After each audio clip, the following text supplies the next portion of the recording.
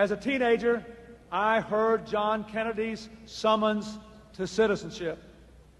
And then, as a student at Georgetown, I heard that call clarified by a professor named Carroll Quigley.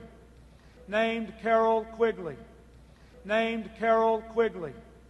Who said to us that America was the greatest nation in history because our people had always believed in two things that tomorrow can be better than today, and that every one of us has a personal moral responsibility to make it so.